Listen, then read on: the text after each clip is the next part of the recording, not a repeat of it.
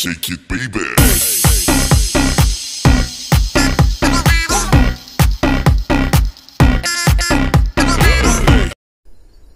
Hero ने adventure segment पे एक बहुत ज़बरदस्त गाड़ी निकाली हुई है जो मिडिल क्लास लोगों के लिए काफ़ी अच्छी है और रेट वाइज भी काफ़ी अच्छी है।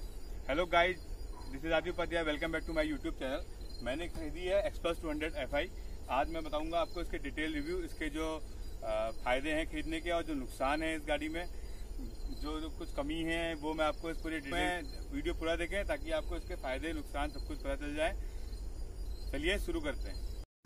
पहले देखिए आपकी इसकी हाइट काफ़ी ज़्यादा है। मेरी हाइट करीब छः फीट है और मेरे पाँव ज़मीन तक पूरे पहुँचते हैं। अगर आपकी हाइट पाँच आठ से नीचे है तो आप इस बाइक ये बाइक आपके लिए सुटेबल नहीं बैठेगी क्योंकि तो आपके पाँव हमेशा ऊपर रहेंगे और गिरने के चांसेस ज़्यादा रहेंगे। अगर आपकी हाइट पाँच आठ से पाँच आठ से कम है तो आपके लिए डिफिकल्टी पैदा करेगी ऑफ़ रोड जाने पे। लेकिन जिसकी हाइट पाँच हाथ से ऊपर है जो मेरे पाँव ज़मीन में पूरे पहुँच रहे हैं। तो ये हम लोग के लिए बिल्कुल सुटेबल गाड़ी है हाइट वाइट सबसे पहले बात करते हैं हम जो बाइक का हार्ट होता है, वो होता है इंजन। इंजन इसका है 199.6 सीसी का, जो 200 सीसी यही है 200 सीसी है लगभग, और सिंगल सिलेंडर इंजन है, और एयर कूल्ड इंजन लगा हुआ है इसमें। और जो मैक्सिमम टॉर्क है इसका 17 वन पॉइंट न्यूटन मीटर है 6500 के आरपीएम में। इसकी टोटल जो कंप्रेशन रेशियो है वो टेन बाय वन का कंप्रेशन रेशियो है और गाड़ी ये है फ्यूल इंजेक्टर इसे कार्बोरेटर वर्जन भी आता है इसका, जो इसे सस्ता पड़ता है करीब आठ हज़ार रुपये. फाइव गियर है। करते हैं इसके ब्रेक्स की व्हील्स की और सस्पेंशन सिस्टम की। जो इसमें दोनों टायरों में डिस्क दिया दिया हुआ है। फ्रंट डिस्क दो छिहत्तर एम का फ्रंट डिस्क है इसका। देखिए आपको सिंगल चैनल एबीएस में है ये गाड़ी। फ्रंट डिस्क में इसके एबीएस है। देखिए लिखा भी है एबीएस यहाँ पे। और ये आपका इसका रियर डिस्क है जो है 220 एमएम का। ये 220 एमएम का रियर डिस्क है। और काफ़ी ब्रेकिंग सिस्टम काफ़ी अच्छा लगा मुझे चला के मैंने करीब अभी तक 100 किलोमीटर गाड़ी चला ली है। अभी इसके बात करते हैं इसके व्हील्स की। आप देख रहे हैं जो व्हील्स है इसका फ्रंट वाला वो काफ़ी बड़ा है। और रियर वाला थोड़ा उससे छोटा है। फ्रंट व्हील 21 इंच का है और जो रियर व्हील है उसका 18 इंच का है। और जो फ्रंट टायर का जो स्पेसेस है वह है 90 बाई 90 21 और जो रियर इसका 90 बाई 80 18 है। जो उसकी विथ है। और दोनों व्हील ट्यूब वाले हैं और स्पोक व्हील हैं दोनों। क्योंकि एडवेंचर में हमको ऑफ़ रोड जाना पड़ता है तो स्पोक व्हील ज़्यादा ज़्यादा बेटर होते हैं एलॉय व्हील से। अब बात करते हैं इसकी हम लोग सस्पेंशन सिस्टम की। सस्पेंशन सिस्टम बहुत अच्छा है इस बाइक का। आप देखिए ये फ्रंट जो टेलीस्कोपिक सस्पेंशन सिस्टम है इसके जो फॉर्क लगे हुए हैं वो आपका सैंतीस एम के डाया है देखिए काफ़ी मज़बूत हैं। आप देख होंगे इसमें रिफ्लेक्टर भी लगा हुआ है दोनों दोनों ओर रिफ्लेक्टर लगा हुआ है और करीब इसका जो 190 नाइन्टी mm का इसका स्ट्रोक है।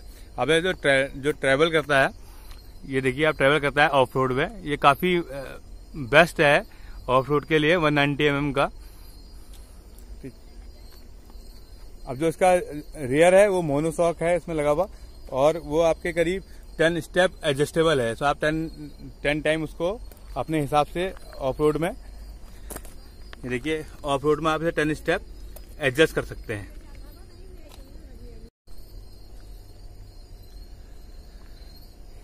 अब बात करते हैं बाइक के वेट की। 153 केजी की इसकी टोटल वेट है, और जो ओवरऑल लेंथ है इसकी टोटल जो लंबाई है, वह है 2.2 मीटर के करीब है और 0.85 मीटर ये वाइड है और जो हाइट है बाइक की, वह है 1.2 मीटर। व्हील बेस जो है वन पॉइंट फोर मीटर है इसका। और जो ग्राउंड क्लियरेंस है, सबसे बड़ी किफायती जो चीज़ है इसमें, जो सबसे ज़्यादा फ़ायदा वाली चीज़ है, वह है इसकी देखिए ग्राउंड क्लियरेंस ये ग्राउंड क्लियरेंस आप देख रहे हैं, करीब 220 एमएम है। इतनी किसी बेस्ट कार की भी होती है। 220 एमएम जो आराम से हम लोग बहुत अच्छे ऑफ़ रोड में जाके, जहाँ पे पत्थर स्टोन वगैरह गिरे रहते हैं रोड पे, वहाँ पर ये बाइक बहुत सही से आपको परफॉर्मेंस देगी। अब बात करते हैं फ्यूल टैंक की। थर्टीन लीटर का इसका फ्यूल टैंक है और माइलेज कंपनी इसका 40 टू 45 बता रही है। अभी मैंने इसका माइलेज टेस्ट ड्राइव किया नहीं है। जिस मैं करेगा, मैं उसको आपको बताऊँगा किसी वीडियो में। और जो उसकी जो टॉप स्पीड है, करीब 110 किलोमीटर पर आवर की इसकी स्पीड है। मैंने अभी तक खैर चलाई नहीं है क्योंकि अभी नहीं है मैं फ़र्स्ट सर्विसिंग करा रखी नहीं। तो जब फ़र्स्ट सर्विसिंग आएगी तो मैं उसको आपको बताऊँगा कि ये टॉप स्पीड कितने ऊपर जाती है। अब बात करते हैं हम लोग इसके डिजिटल मीटर की। ये देखिए आपको दिया हुआ है आरपीएम 11,000 तक आरपीएम दिया हुआ है। ये डिजिटल मीटर काफ़ी खूबसूरत है। यहाँ पर टाइम भी आता है। कौन सा गियर लगा हुआ है ये भी आता है। स्पीड कितनी है? और आपका फ्यूल इसमें कितना है? देखिए मैंने अभी ये स्विच बंद किया क्यूल स्विच ऑन बोलता है। जैसे ही अगर मैं गाड़ी का इंजन स्टॉप करता हूँ जैसे ही इंजन ऑन करूँगा तो देखिए यहाँ पर आ गया ट्रिप आया। ट्रिप, दो ट्रिप है इसमें। Trip one, trip two. और एक हीरो का ऐप आता है, उससे आप हम इसे ब्लूटूथ से कनेक्ट करके टर्न बाय टर्न नेविगेशन ले सकते हैं। मतलब नेविगेशन का काम इसमें कर सकता है, लेकिन वैसे रूट दिखाएगा जैसे मोबाइल में दिखाता है, लेकिन टर्न बाय टर्न आपको जो लेफ़्ट टर्न करना है, राइट टर्न करना है तो पूरा यहीं पर इंडिकेट होगा। टाइम भी इसमें आ रहा है, सब कुछ है। सारे फीचर्स हैं, एक जो गाड़ी में होते, एक बाइक में जो सारे फीचर्स होते हैं, वो सब कुछ इसमें है। साउंड वाइज, बाइक की साउंड वैसे थोड़ी आपको निराश ज़रूर करेगी, क्योंकि मुझे भी ऐसा लगता है कि मुझे एक्चुअली पहले बुलेट चलाने की आदत थी और मैं इसके बाद इसको चला रहा था तो थोड़ा साउंड का मुझे फ़र्क लग रहा है। लेकिन फिर भी ठीक है, साउंड ऐसा कोई प्रॉब्लम नहीं है। लेकिन 200 सीसी के इंजन में थोड़ा और बेटर साउंड हो सकता था। अब बात करते हैं इसके फ्रंट लैम्प की। इसमें एलईडी टाइप फ्रंट लैम्प दिया हुआ है। थोड़ा मुझे इसकी, जो इसकी हाई बीम है, देखिए आप हाई बीम है। हाई बीम में मुझे थोड़ा इसका भी प्रॉब्लम लग रहा है। फ़र्स्ट सर्विसिंग के टाइम पे मैं पूछूँगा उनसे कि मतलब हाई बीम की थोड़ी लाइट मुझे लगता है कि बहुत पास पड़ती है। और बाकी जो इसका पीछे टेल लाइट है टेल लाइट भी इसमें एलईडी दिया हुआ है। टेल लाइट भी एलईडी है, इसमें लगा हुआ। देखिए टेल लाइट काफ़ी खूबसूरत है और बहुत अच्छी है और काफ़ी अच्छा एमिशन आता है टेल लाइट से। इंडिकेटर दो बल्ब लगे हैं और काफ़ी अच्छे हैं।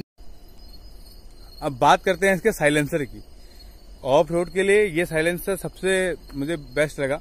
देखिए, आप इतनी ऊपर हाइट है कि कभी आप किसी रिवर को भी अगर आप पार करते हैं तो ये काफ़ी ऊपर दिया हुआ है इन्होंने। लेकिन इसका एक ड्रॉबैक है कि मैं इस साइड से बैग लगा नहीं पाऊँगा, अगर मुझे साइड बैग इसमें लगाना पड़ेगा। सोचता है कि बाद में कोई अभी एसेसरीज मार्केट में अवेलेबल नहीं है, बाद में क्या होता है, कोई एसेसरीज ऐसे निकले, कोई मैन्युफैक्चर ऐसे एसेसरीज निकाले जो उसके साइलेंसर के ऊपर भी लग जाए। लेकिन काफ़ी अच्छा साइलेंसर है। चाहे मैं स्केयर हो रहा था एक्चुअली जो ये प्लेट लगी हुई आप ये प्लेट देख रहे हैं ना, मैं सोचता था कि ये किसी को जलाएगी, लेकिन इसकी डिस्टेंस साइलेंसर से उतने ऊपर दी गई कि ये बहुत कम हीट होती है। ये मतलब मुझे बहुत काफ़ी अच्छा लगा ये जो इन्होंने जो इसको असेंबल किया हुआ है, बहुत अच्छे तरीके से किया हुआ है। काफ़ी देखिए आप डिस्टेंस काफ़ी दूर है इस प्लेट की। साइलेंसर से ताकि ये काफ़ी कम गर्म रहे। इसका जो कार्बोरेटर वर्जन है, उसमें ये जो प्लेट लगी है, देखिए इसमें एल्यूमिनियम की लगी हुई है, जो इंजन गार्ड है। एल्यूमिनियम का लगा हुआ है और काफ़ी अच्छा है। और जो इसका कार्बोरेटर वर्जन है, उसमें ये आता है फाइबर का लगा हुआ प्लास्टिक का लगा हुआ है, ताकि दोनों में लगा हुआ है, लेकिन प्लास्टिक का थोड़ा कमज़ोर होता है, लेकिन ये इसमें जो एफआई वर्जन है, इसमें दिया गया हुआ है एल्यूमिनियम का, जो इंजन की सेफ्टी के लिए काफ़ी अच्छा है। तो मुझे जो लगा गाड़ी का सबसे ज़्यादा स्विंगार्म बहुत काफ़ी अच्छा लगा। स्विंगार्म देखिए आप, काफ़ी वाइड है, कई दो एम थिकनेस इसकी, दो एम की थिकनेस है स्विंगार्म की और लेकिन वाइड काफ़ी है, और काफ़ी लंबा अच्छा स्विंगार्म है जो हमको एक मतलब बहुत अच्छा राइड का अनुभव देगा, जब हम ऑफ़ रोड में जाएँगे। अब बात करते हैं इसकी सीट की। सीट थोड़ा मुझे अभी कुछ कहना वैसे सही नहीं है, क्योंकि मैं अभी लॉन्ग राइड पर गया नहीं हूँ। क्योंकि जब तक लॉन्ग राइड पे जाओ नहीं, तब तक आपको पता चलेगा नहीं कि सीट कैसी है। लेकिन मुझे थोड़ा लगता है कि थोड़ी और ज़्यादा वाइड होती तो काफ़ी अच्छा होता। और पिल्लन के लिए मुझे लगता है कि इसमें डिफिकल्टी होगी बैठने के लिए। राइडर तो चलो फिर भी काफ़ी कंफर्टेबल रहेगा, लेकिन पिल्लन इसमें कंफर्टेबल नहीं रहेगा। ये इसका ग्रे वेंडल है। ग्रे वेंडल काफ़ी अच्छा है डिज़ाइन में भी बहुत अच्छा है। और इसके पीछे दिया हुआ है थोड़ा सा ये हम लोग यहाँ पर आराम से एक बॉक्स ला सकते हैं। इसे हम निकाले, ये ग्रोमेट हम निकाल देंगे ग्रे बंडल से और यहाँ पर जो नट है नट नट को निकाल के आराम से एक एक टॉप बॉक्स इसके ऊपर हम लोग कर सकते हैं ऑन कर सकते हैं आराम से, बहुत सही ढंग से। अब बात करते हैं इसके स्टैंड की। इसमें साइड स्टैंड दिया हुआ है। सिर्फ़ साइड स्टैंड है मेन स्टैंड इसमें है नहीं इस बाइक में। मतलब कंपनी की ओर से आता है नहीं, लेकिन शायद इसमें एक ऑप्शन है। ये देखिए, आप देख रहे हैं, नीचे ये दो ब्रैकेट है। इसमें हम आराम से मिनी स्टैंड लगा सकते हैं। अगर हमको ज़रूरत पड़े तो मैं भी लगाऊँगा इसमें मिनी स्टैंड, क्योंकि मिनी स्टैंड होना गाड़ी में ज़रूरी है। अब देखते हैं इसके हैंडल बार की पोजिशन। हैंडल बार काफ़ी अच्छा है, बहुत अच्छा कंफर्ट लुक देखता है जब आप बाइक में बैठते हैं। बाइक में बैठ के मतलब एक फील आता है कि हाँ हम एक ऐसी बाइक में बैठे हैं जो काफ़ी हाइट काफ़ी अच्छी है और हमको एक एक सफ़र मिलेगा इस बाइक में। और मुझे लगता नहीं कि हैंडल बार में कोई कमी है। हैंडल बार बहुत सही ढंग से बनाया गया है। एक मतलब लंबे टूर के लिए ये हैंडल बार काफ़ी अच्छा है। यहाँ पर इसका सेल्फ स्टार्ट बटन ये इंजन स्टॉप बटन इधर ये आपके पास लाइट है और हाई बीम लो बीम यहाँ पे एक इंडिकेटर और ये हॉर्न हॉर्न की आवाज़ मैं आपको सुनाता हूँ। हॉर्न की साउंड भी ठीक है। और लगे हुए हैं हैंड के आगे लगे हुए हैं वाइजर ये देखिए आप। और मिरर मुझे, मिरर में कोई कमी लगी नहीं। मिरर में मैंने देखा कि व्यू काफ़ी अच्छा आता है बैक साइड का। और एक छोटी सी विंड सीट दी हुई है। काफ़ी अच्छी है। थोड़ी सी बड़ी होती तो ज़्यादा अच्छा होता, लेकिन इस बाइक में अगर बड़ी लगाएँगे तो फिर शायद सो बिगड़ जाएगी, लेकिन ये विंड सीट काफ़ी अच्छी है। फ्रंट फेंडर काफ़ी ऊपर लगा हुआ है, जो ऑफ़ रोड बाइक में होता भी है। और पीछे फ्रंट व्हील पे एक और छोटा फेंडर दिया है ताकि जो इंजन हो, इंजन के ऊपर कीचड़ विचड़ ना आए, इसलिए छोटा सा एक और फेंडर लगाया हुआ है। जब यहाँ से वाटर या कुछ भी कीचड़ इसमें जाएगा तो इंजन में की ओर ना जाएगा। और रेयर फेंडर भी काफ़ी अच्छा है। अब बात करते हैं इसमें एक और नया फीचर है। मुझे वो काफ़ी अच्छा लगा। यहाँ पर इसकी की है, सीट खोलने की है, मैंने सीट खोल दी यहाँ पर इसकी। सीट के नीचे इसमें दिया हुआ है एक मोबाइल चार्जर। देखिए आप ये मोबाइल चार्जर है, जब आपका कभी मोबाइल डिस्चार्ज हो, आप मोबाइल को यहाँ पर रखो और चार्ज कर सकते हो इससे निकाल के। और साथ में मिला हुआ एक फ़र्स्ट एड किट और इसमें मिला हुआ एक टूल बॉक्स।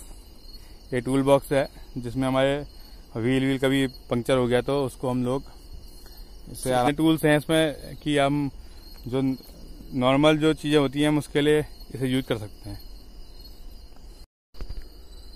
अब बातें, बात करते हैं कॉस्ट की। इसके दो वर्जन है एक्सप्रेस टू हंड्रेड के। एक कार्बोरेटर वर्जन है और दूसरा वर्जन है आपके एफआई का। जो कार्बोरेटर वर्जन है, उसकी ninety eight thousand ex showroom price है और आपको करीब एक लाख सोलह हज़ार के करीब पड़ेगा आपको ऑन रोड और जो एफआई वर्जन है, उसका जो एक्स शोरूम प्राइस है, वो है एक लाख पाँच हज़ार छः सौ रुपये उत्तराखंड में। और स्टेट का मेरे को पता नहीं।